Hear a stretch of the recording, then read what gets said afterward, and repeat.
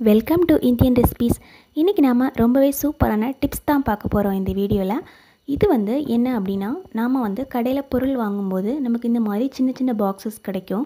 So இந்த boxes எல்லாம் நம்ம அப்படியே தூர போட்டுருவோம். அப்படி தூர போடாமலே நம்ம வீட்டில் எப்படி யூஸ் பண்ணலாம் அப்படின்னு தான் பார்க்க போகிறோம் நம்ம பீரோவில் பொருளை அடுக்கி வச்சதுக்கப்புறமா நாம் இந்த சின்ன சின்ன துணிகள் அதாவது மாஸ்க்கு கர்ச்சீஃபு சாக்ஸ் இந்த மாதிரி பொருள் எல்லாம் திரும்ப எடுக்கிறது கொஞ்சம் கஷ்டமாக இருக்கும் தேட வேண்டியது இருக்கும். ஸோ அந்த மாதிரி இல்லாமல் இந்த மாதிரி சின்ன சின்ன பாக்ஸஸில் அடைச்சி வச்சுட்டு ஒரு பீரோவில் ஓரமாக வச்சுருந்தோம் அப்படின்னா நம்ம எப்போ வேணாலும் நம்ம இதுலேருந்து எடுத்துக்கலாம். சின்ன குழந்தைங்களுக்கு தனியாக பாக்ஸஸ் பெரியவங்களுக்கு தனியாக பாக்ஸஸ் இந்த மாதிரி வச்சுருந்தோம் அப்படின்னா எப்போ வேணாலும் நம்ம தேவைக்கு தகுந்த மாதிரி எடுத்து யூஸ் பண்ணிகிட்டு இருக்கலாங்க. அடுத்தது நம்ம பார்க்க போகிற டிப்ஸ் என்னென்னா ரிமோட் பற்றினது தான் அதாவது நம்ம வீட்டில் சின்ன குழந்தைங்க இருந்தாங்கன்னா இந்த ரிமோட்டில் தண்ணி ஊற்றி விடுறது அப்புறம் இதை கடிக்கிறது இதில் எச்சில் துப்பி வைக்கிறது இந்த மாதிரி நிறைய வேலைகள் பண்ணுவாங்க. ஸோ வாரத்துக்கு ஒரு முறை வாங்க வேண்டியதாக இருக்கும். அந்த மாதிரி இல்லாமல் இருக்கணும் அப்படின்னா நம்ம ரிமோட்டில் இந்த மாதிரி பிளாஸ்டிக் கவர் நல்லா சுற்றி போட்டுட்டு அந்த எல்இடி லைட்டு தெரிகிற அளவுக்கு சின்ன ஒரு ஹோல் போட்டு விடணும். ஸோ மேலே பாருங்கள் ரொம்ப தின்னான ஒரு கவர் தான் சுற்றி இருக்கிறேன். ஆனால் வந்து இதை சுற்றி நல்லா கனமாக போட்டுக்கணும்.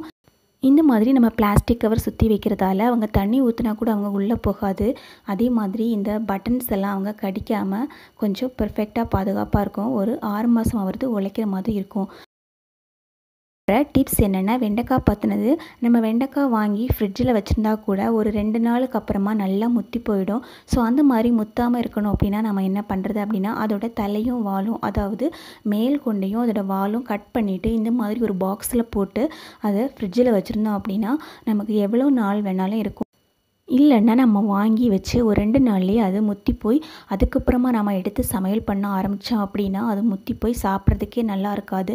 ஸோ இந்த மாதிரி நம்ம கட் பண்ணி ஒரு பாக்ஸில் போட்டு ஃப்ரிட்ஜில் வச்சுருந்தோம் அப்படின்னா நமக்கு எடுத்து அதை யூஸ் பண்ணுறதுக்கும் நல்லாயிருக்கும் அதே மாதிரி அதை சாப்பிட்றதுக்கும் நல்லாயிருக்கும் அடுத்ததாக நம்ம வெண்டைக்காவை நம்ம பொரியல் பண்ணும்போது ரொம்ப வழவழப்பாக இருக்கும்.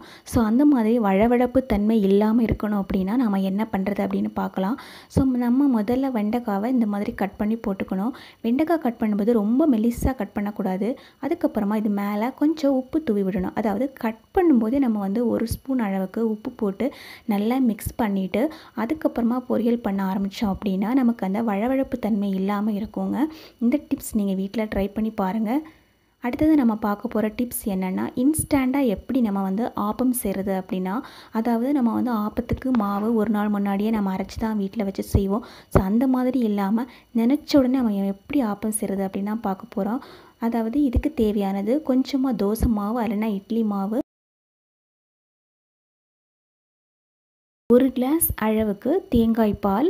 அதாவது நம்ம யூஸ் பண்ணுறதுக்கு பத்து நிமிஷத்துக்கு முன்னாடி நம்ம தேங்காய் பால் எடுத்து இந்த மாவில் ஊற்றி வைக்கணும். ஒரு டீஸ்பூன் அளவுக்கு சோடா உப்பு அதாவது நம்ம ஆப்பத்துக்கு யூஸ் பண்ணுற உப்பு அப்புறம் தேவைக்கு ஏற்ற மாதிரி சால்ட்டு யூஸ் பண்ணிக்கணும். இப்போ நம்ம நல்லா மிக்ஸ் பண்ணி விட்டுக்கலாம். அதாவது நல்லா தண்ணி மாதிரி மாவை நல்லா கரைச்சிக்கணும். அப்போ தான் ஆப்பம் வந்துட்டு நமக்கு நல்லா வரும். இந்த மாதிரி மாவை நல்லா கரைச்சி விட்டுக்கலாங்க. நம்ம வந்து தோசை மாவை ஆப்ப மாதிரி சுட்டால் கூட நமக்கு வந்து ஆப்பத்தோட டேஸ்ட் கிடைக்காது. அதே மாதிரி அது தோசை சாப்பிட்ற மாதிரி தான் இருக்கும். இந்த மாதிரி நம்ம தேங்காய் பால் சேர்த்து நம்ம வந்து ஆப்பம் செஞ்சுக்கிட்டோம் அப்படின்னா அதோட சுவையே வேறு லெவல் அப்பாவாக நம்ம கேரளா ஆப்பம் சாப்பிட்ற மாதிரியே இருக்கும். அந்த அளவுக்கு ஒரு பெர்ஃபெக்டான ஆப்பம் வந்துட்டு நமக்கு கிடைக்கும். இப்போ நம்ம கடாயில் லைட்டாக எண்ணெய் தடவிக்கலாம். எண்ணெய் தடவிட்டு நம்ம இந்த மாவை ஊற்றி நல்லா சுற்றி விட்டுக்கிட்டோம் அப்படின்னா ஒரு பெர்ஃபெக்டான ஒரு ஆப்பம் நமக்கு கிடைக்கும். இந்த டிப்ஸ் உங்கள் வீட்டில் ஃபாலோ பண்ணி பாருங்கள் டெய்லி இட்லி தோசை சாப்பிட்றதுக்கு இந்த மாதிரி டிஃப்ரெண்ட்டாக ட்ரை பண்ணி நம்ம சாப்பிட்லாம். ரொம்பவே ஈஸியான டிப்ஸ் நம்ம எல்லாருமே வீட்டில் ரொம்ப ஈஸியாக ஃபாலோ பண்ணுற மாதிரியும் இருக்கும். இதை வந்துட்டு ஒரு டூ மினிட்ஸ் நம்ம க்ளோஸ் பண்ணிவிட்டோம் அப்படின்னா ஆப்பம் நமக்கு சூப்பராக வரும். இப்போ நம்ம ஒரு டூ மினிட்ஸ் க்ளோஸ் பண்ணி விட்டுட்டு பார்த்துட்டோம் அப்படின்னா ஒரு பர்ஃபெக்டான ஆப்பம் நமக்கு கிடச்சிருக்கு. இந்த வீடியோ உங்களுக்கு பிடிச்சிருக்கும் அப்படின்னு நினைக்கிறேன். தேங்க்யூ ஃபார் வாட்சிங்